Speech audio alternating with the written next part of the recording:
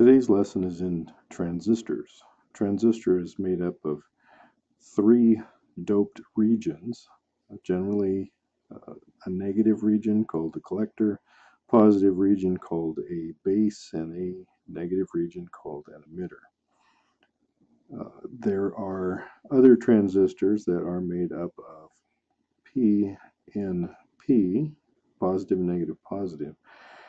The uh, one region is called the collector. It is medium doped. It's the largest of the three sections.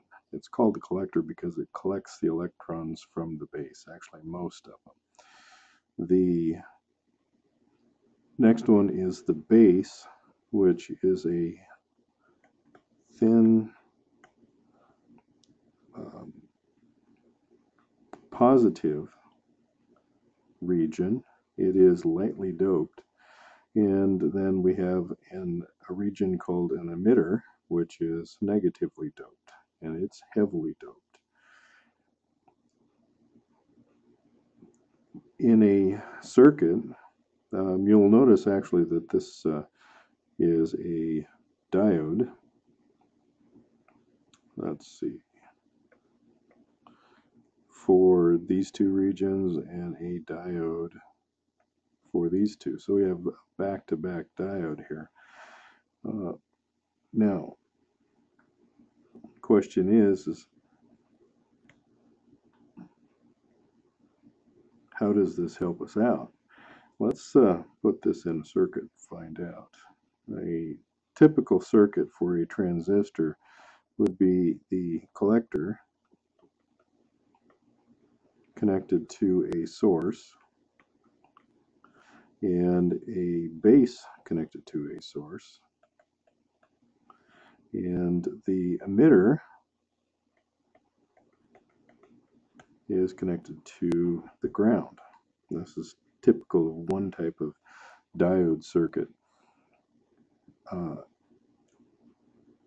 if we have a bias on the base, a um, DC bias voltage on the base here, on the base here, um, we will have electron flow, and guess what? It's electron flow to the rescue again. Uh, electron flow uh, enters the emitter, goes through the P region, since it's lightly doped and it's very thin, the electrons entering it have a large lifetime and they can actually skirt across the uh, p-doped base. That's when there's a bias on it. Um, to the collector, which ends up in the positive terminal of the battery or the source.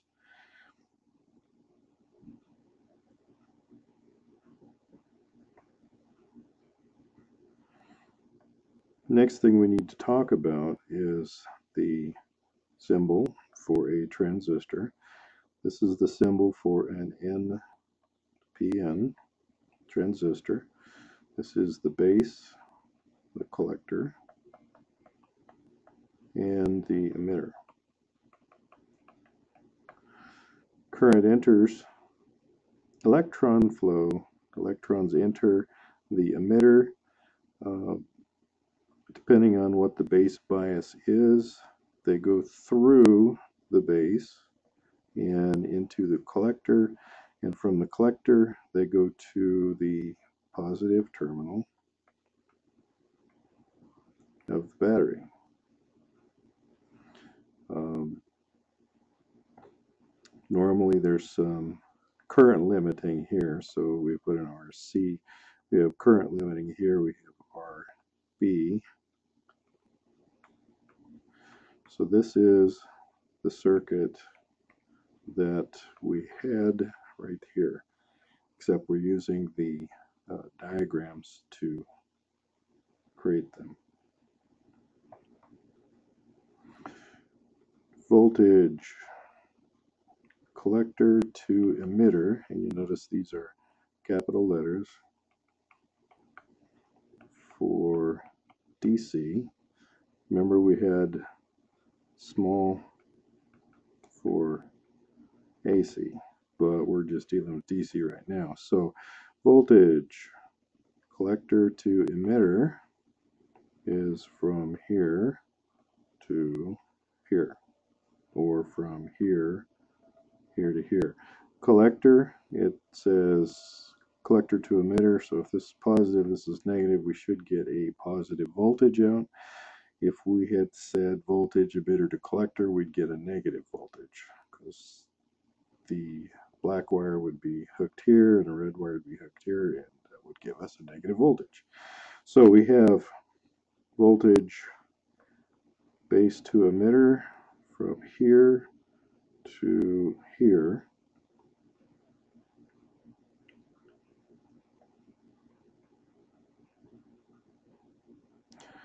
Let's see. Let's get a black pen out here. Note direction of the arrow is direction is conventional current.